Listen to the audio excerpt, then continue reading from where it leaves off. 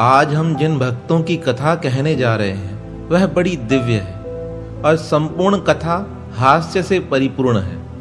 बिहार के एक छोटे से गाँव के ब्राह्मण परिवार के अंतर्गत भक्त दीनानाथ जी का जन्म हुआ। और दीनानाथ जी इतने सच्चे और सरल भक्त थे, अपना अधिक से अधिक समय भगवान शंकर के मंदिर में व्यतीत करते थे। और भगवान शंकर से इनका इतना अधिक प्रेम था बार बार किसी न किसी बात पर भगवान शंकर को डांट देते थे। और भगवान गणेश जी के साथ तो इनका झगड़ा चलता ही रहता था। उसका भी एक गहरा रहस्य है, आपको बताया जाएगा। ब्राह्मण कुल में इनका जन्म हुआ। बचपन से परमात्मा की भक्ति का इनको विशेष चाव था। शुरुआत में तो शादी का विचार बिल्कुल नहीं था, पर माता पिता की आज्ञा मानकर इन्होंने शादी करना स्वीकार कर लिया। अब उमा नाम की एक सुशील और सुंदर कन्या के साथ इनका विवाह हुआ। उमा भी बड़ी सादी और सच्ची परमात्मा की सेविका थी। जब दोनों को एक दूसरे का साथ मिला तो दोनों की भक्ति और प्रबल हो गई। शादी के प्रथम दिवस ही दीनानाथ जी ने अपनी धर्म पत्नी से कहा, उमा, तुम्हें पता है, मेरा मन तो शादी का था ही नहीं, पर मेरे माता पिता की आज्ञा मानकर मैंने विवाह का प्रस्ताव मंजूर किया है, क्योंकि मेरा मन तो शुरुआत से ही परमात्मा के श्री चरणों से युक्त था। इसलिए मुझे संसार के कार्यों के प्रति कोई मोह है ही नहीं। मैं तुम्हारा पालन पोषण कभी सही से नहीं कर पाऊँगा।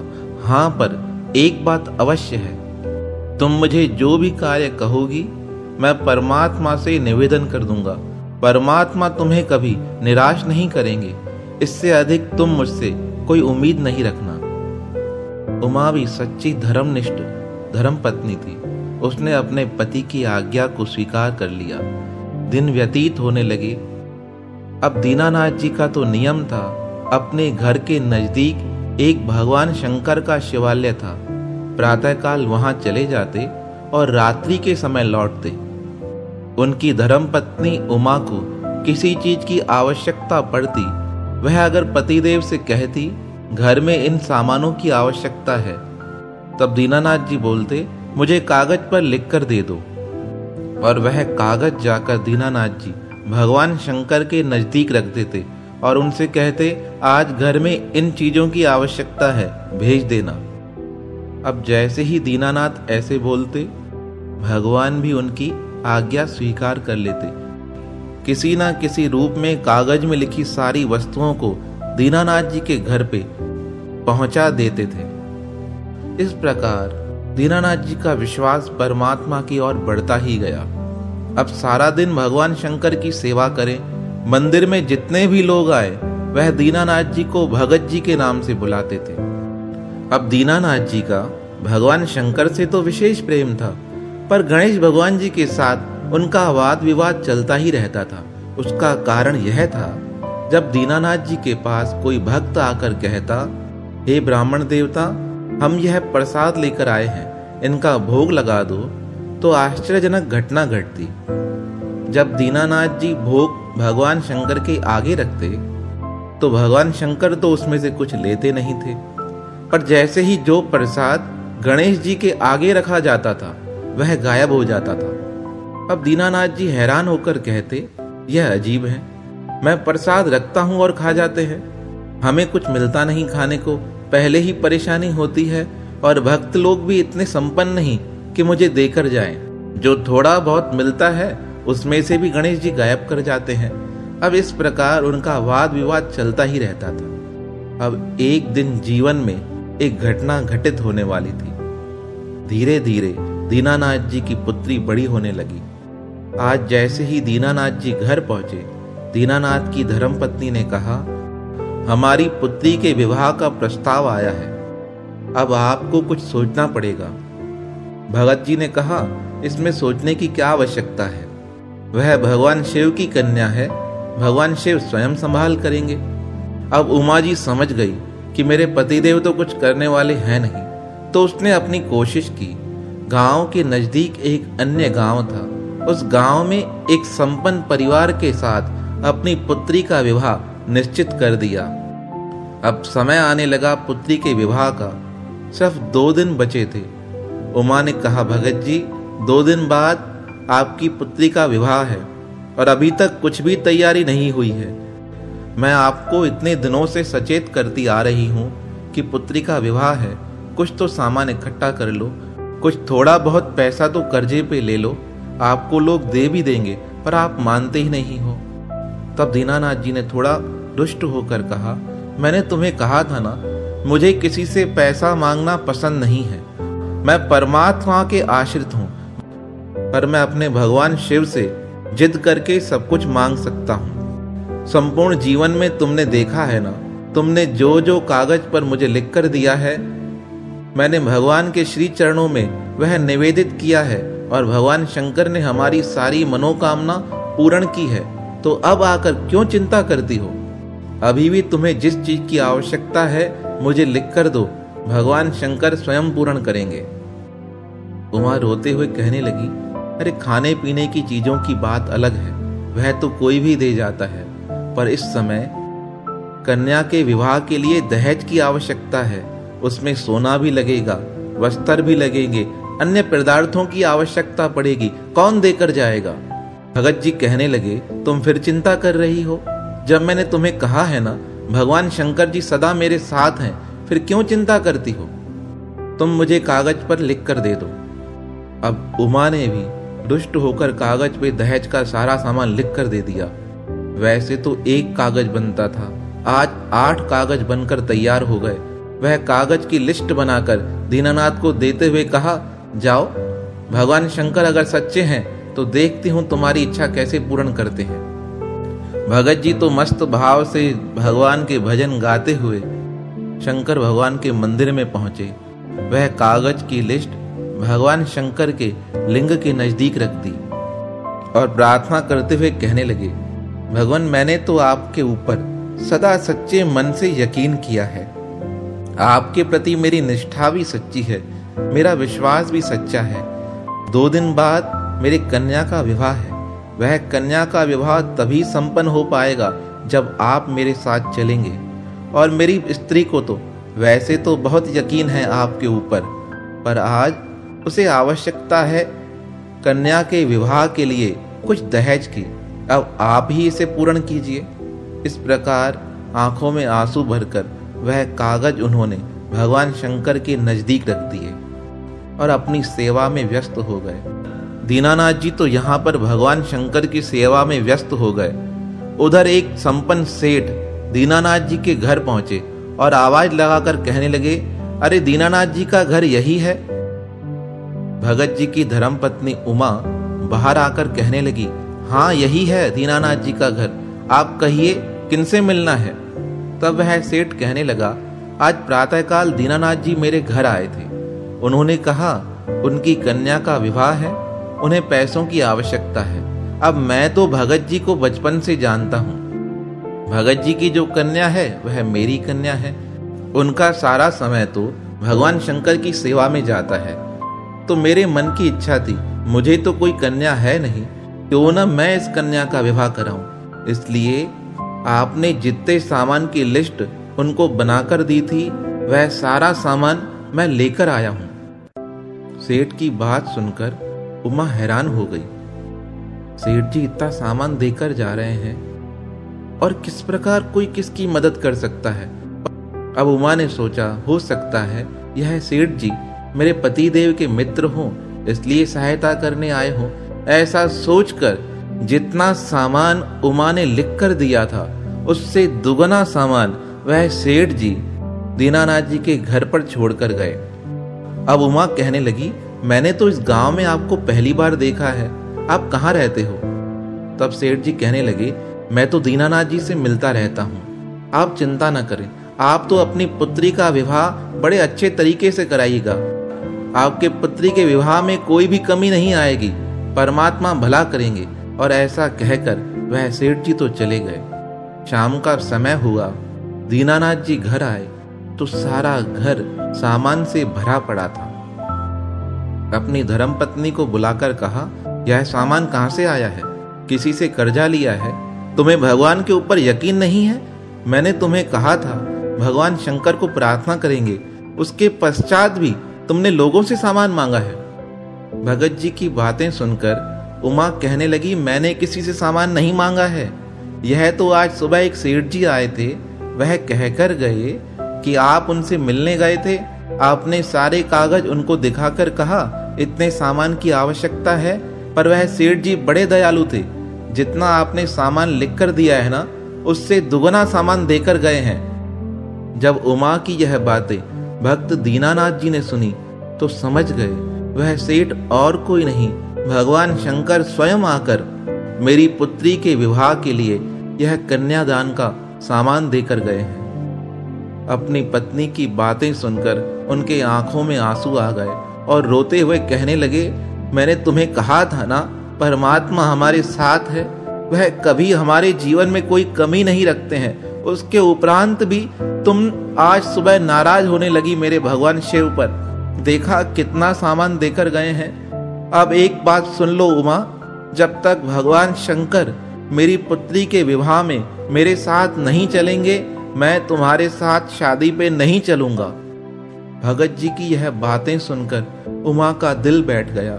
वह कहने लगी, भगवान शंकर कैसे चल सकते हैं?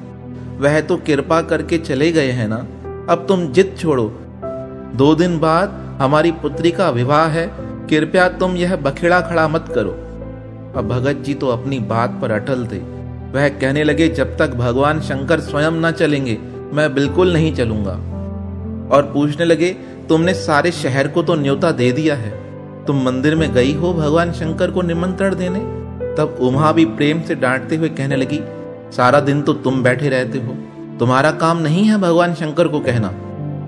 अब वह सीधे साधे भक्त थे। कहने लगे, भगवान शंकर को तो मैंने कह दिया है, पर जो उनकी जो और मंडली है ना, उन्हें बिल्कुल नहीं कहा है। और खास कर भगवान गणेश जी को तो बिल्कुल नहीं कहना है। क्योंकि वह इस प्रकार खाते हैं, अपना प्रसाद ही गायब कर देते हैं। मेरे लिए मंदिर में कुछ खाने को बचता ही नहीं। अपने पतिदेव की बातें सुन, उमा मुस्कुरा कर कहने लगी, आप चिंता न करें, रात्रि विश्राम करें। अब दो दिन बाद पुत्री का विवाह है। अब आप तैयारी कीजिएगा, आपको विवाह में चलना है। अब इस प्रकार बातें कर दोनों सो गए। दूसरे दिन प्रातःकाल दीनानाथ जी भगवान शंकर के मंदिर में चले गए, जिस प्रकार जाते थे और सेवा करके आ गए। तीसरा दिन आया, पुत्री के विवाह का कार्य था। भगत जी तैयार होकर पुनः मंदिर की ओर जाने लगे। धर्म पत्नी ने कहा, कहाँ जा रहे हो? कहा, मैं अपना नियम नहीं छोड़ सकता हूँ, दर्शन करने जा रहा हूँ। धर्म पत्नी ने कहा, जल्दी आइएगा। हमें अपनी पुत्री को लेकर दूसरे गाँव चलना है, कहीं देर ना हो जाए। दीनानाथ जी कहने लगे मैंने तुमसे कहा था ना, जब तक भगवान शंकर इस विवाह में नहीं चलेंगे, मैं तुम्हारे साथ नहीं चलूँगा। धर्म पत्नी कहने लगी, अरे, जिद छोड़ो, पुत्री का विवाह है। भगवान शंकर और कृपा क्या करेंगे? आपको दहेज का धन देकर गए ना, उसके पश्चात भी और किस चीज़ की आवश्यकता है? पर भगत जी मानने को तैयार नहीं थे। वह कहने लगे, यह कन्या भगवान शंकर की ही है। जब तक वह नहीं चलेंगे, मैं नहीं चलूँगा। भक्त जी इस प्रकार जिद करके भगवान शंकर के मंदिर में आ गए और बैठ गए अपना ध्यान करने। समय बीतने लगा। वहाँ पर घर वाले इंतज़ार कर रहे हैं। जल्दी से वापस आए और इधर भगत जाने को तैयार ही नहीं। अब कहते हैं ना, जब भक्त का प्रेम इतना निष्ठावान हो तो भगवान को चिंता हो जाती है। और भक्त अगर दीनानाथ जी की तरह बड़ा सरल हो तो उसकी चिंता अधिक हो जाती है। यहाँ से कथा एक नया मोड़ लेती है। दीनानाथ जी तो बैठकर भगवान शंकर की पूजा करने लगे। अब भगवान शंकर मन में विचार करने लगे, यह तो अजीब भक्त है। भक्ति जी ने जो जो मुझे देने को कहा था, वह तो मैं घर पहुँचा कर आया। अब इसे किस चीज़ की आवश्यकता है? तभी उस मंदिर में एक आवाज़ हुई। वह आवाज़ थी भगवान शंकर की मूर्ति से। वह कहने लगी, अरे भगत जी, जाओ अपनी कन्या का विवाह करा के आओ। दीनानाथ जी ने इधर उधर देखा, उन्हें कुछ समझ ही नहीं आया। पूछने लगे, कहाँ से आवाज़ आ रही है? भगवान शंकर ने कहा, हम बात कर रहे हैं। तुम जाओ भगत जी, अपनी कन्या का विवाह करा के आओ। दीनानाथ जी कहने लगे, अरे भगवान मैंने तो सारी उम्र आपकी सेवा की है। आपको तो पता है ना, आप मेरे पिता तुल्य हैं और मैं आपसे हर बात पर जिद करता हूँ और आप मेरी हर जिद पूर्ण करते हो। आपको जब पता है मैं आपके बिना नहीं जा सकता हूँ तो मैं विवाह में कैसे जाऊँगा? आप चलोगे तो मैं आपके साथ चलने को तैयार हूँ। भगवान शंकर ने कहा, जितना हमें करना था हम कर चुके हैं। दीनानाथ जी कहने लगे, इसका मतलब आपने पैसा दे दिया और काम हो गया। अब मैं भी आपके पास रोज आऊँ, सब जल चढ़ाकर चला जाऊँ, इतना ही काफ़ी है।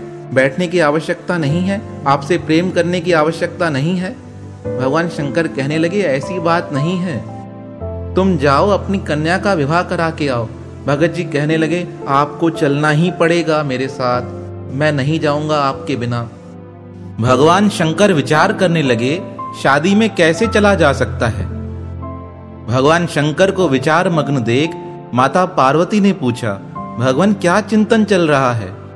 भगवान ने कहा, मेरा भक्त मुझसे जिद कर रहा है कि आपको कन्या के विवाह में चलना ही पड़ेगा तो मैं सोच रहा हूँ कैसे जाऊँ? इसी बीच भगत जी बोल पड़े, सोचना क्या है?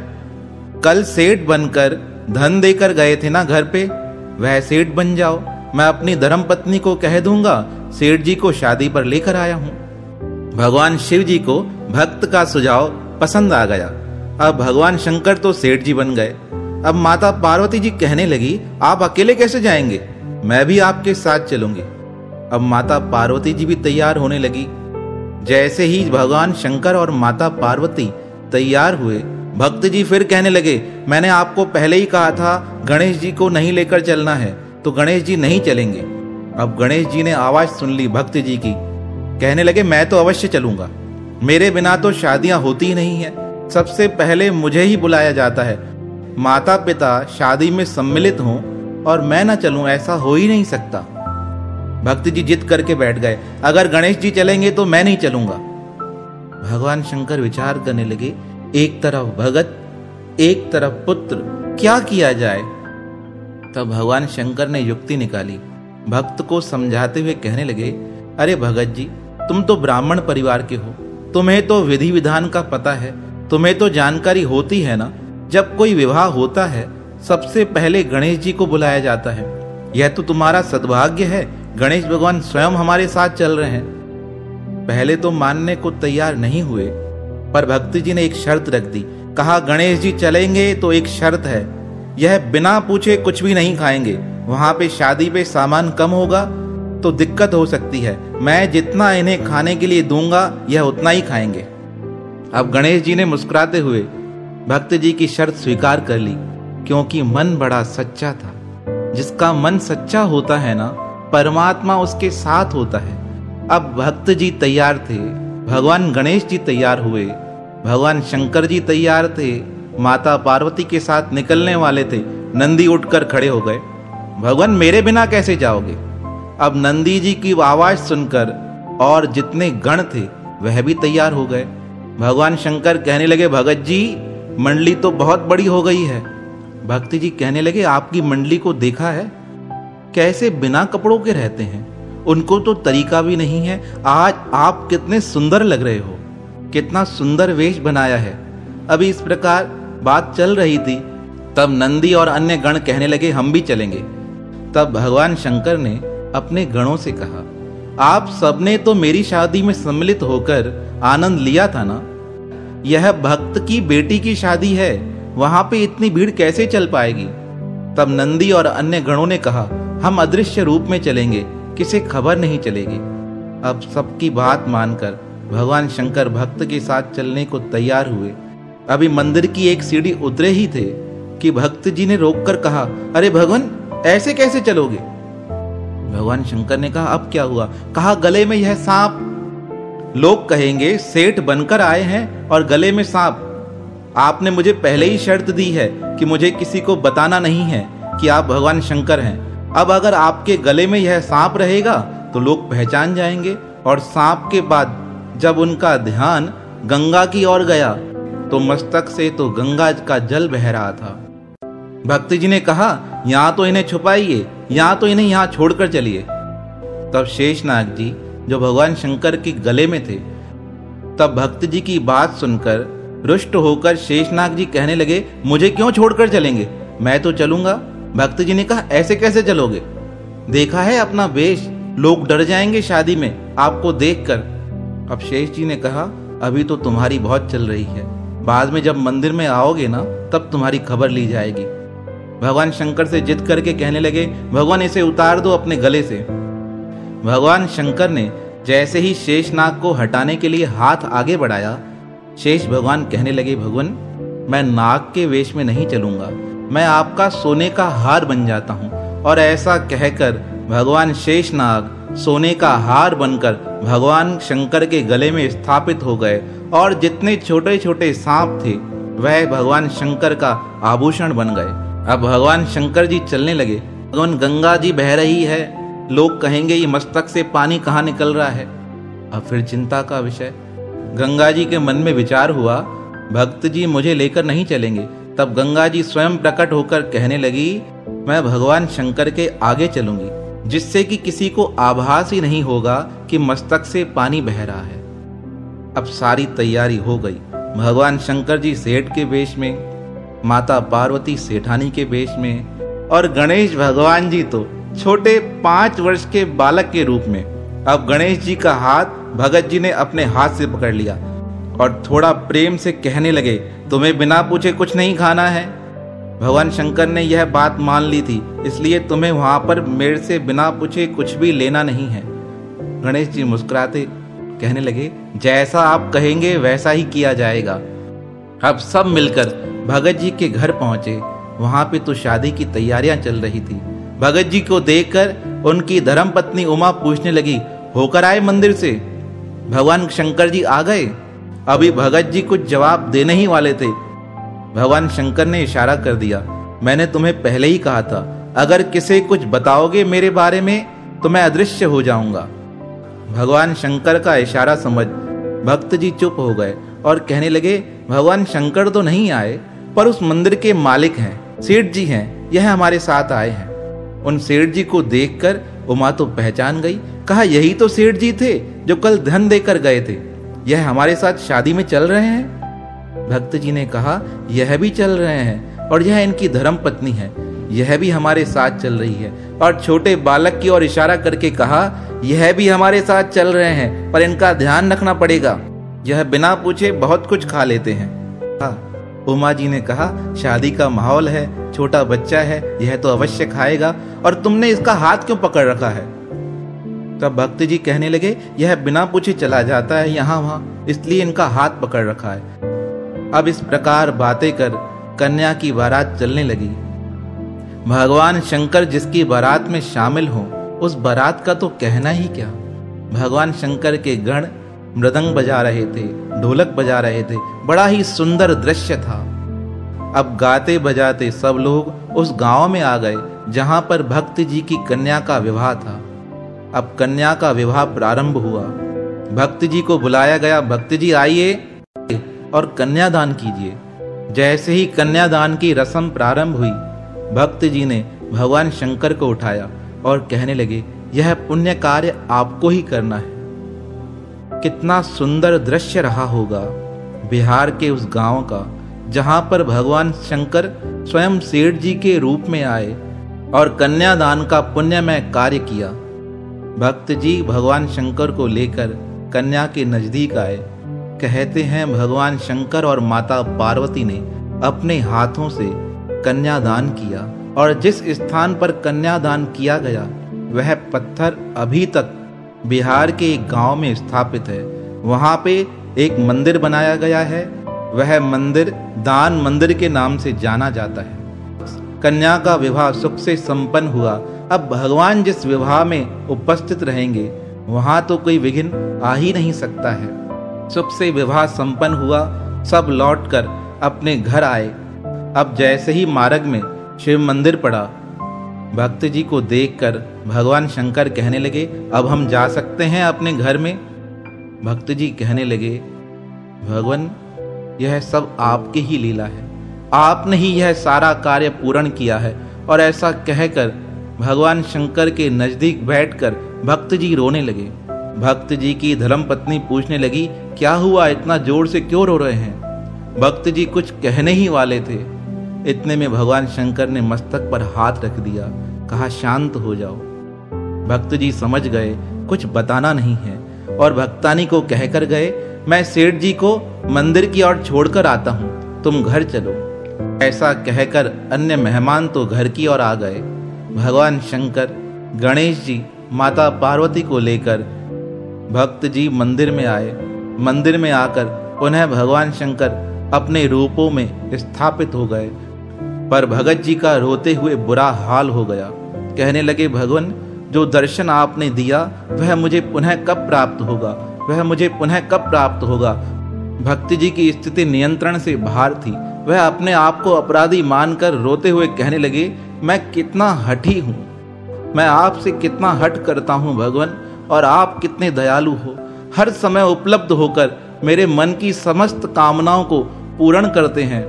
जब भक्त जी इस प्रकार रोने लगे, भगवान शंकर पुनः प्रकट हुए और प्रकट होकर उसके मस्तक पर हाथ रखा। जब भगवान शंकर ने भक्त के मस्तक पर हाथ रखा तो भगवान शंकर के हाथों से कुछ जल की बूंदें गिरी। वह जल की बूंदें जिस स्थान पर गिरी हैं, बिहार में उसका भी एक मंदिर स्थापित है। जिसे शिवनीर मंदिर के नाम से जाना जाता है। वह इतना पुण्यमय मंदिर है, कहते हैं भक्त वहाँ पर अपनी प्रार्थनाएँ करते हैं और उनकी मन की समस्त मनोकामनाएँ पूर्ण हो जाती हैं। भक्त जी इस प्रकार रोकर अपने घर पुनः लौट आए। उमा ने कहा, सब कुछ ठीक था? आपका मन बेचैन क्यों है? अब तो कन्या का विवाह सुख से हो चुका है। वह कहने लगे, तुम्हें पता है वह सेठ जी कौन थे? वो उमा कहने लगी, वह सेठ कौन थे? आपके मित्र थे ना? और उस मंदिर के मालिक थे। दीनानाथ जी रोते हुए कहने लगे, अरे वह सेठ नहीं, भगवान शंकर थे, जिन्होंने अपने हाथों से मेरे कन्या का विवाह किया था। तुम पहचान न सकी उनको। उमा कहने लगी, आपने बताया क्यों नहीं? कहा, अगर मैं तुम्हें बता देता तो भगवान शंकर अदृश्य हो जाते। फिर मुझे उनका दर्शन न मिलता। उमा जिद करने लगी, अब तो मुझे भी उनका दर्शन करना है। दूसरे दिन प्रातः काल वह अपनी धर्म पत्नी को लेकर भगवान शंकर के मंदिर में आए और प्रार्थना कर कहने लगे, भगवान, इसे भी दर्शन दो।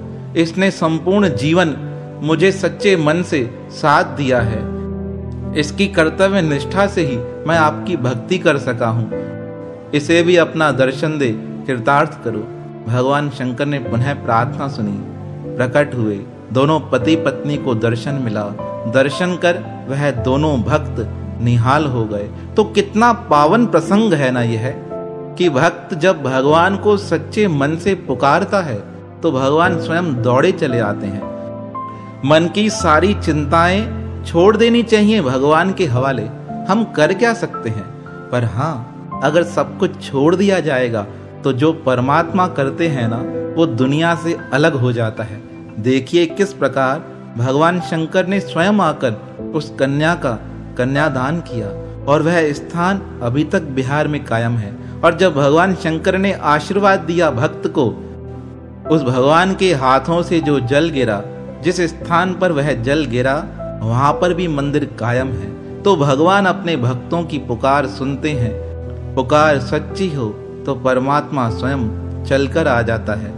तो ऐसे भक्त वसल भगवान, जो भक्तों पर तुरंत राज़ी हो जाते हैं, जिन्हें भोलेनाथ कहा जाता है, जिन्हें आशुतोष कहा जाता है, जिन्हें शंकर कहा जाता है, जिन्हें भगवान शिव कहा जाता है, उनके पावन श्री चरणों में हमारा बारंबार प्रणाम है प्रणाम है प्रणाम है।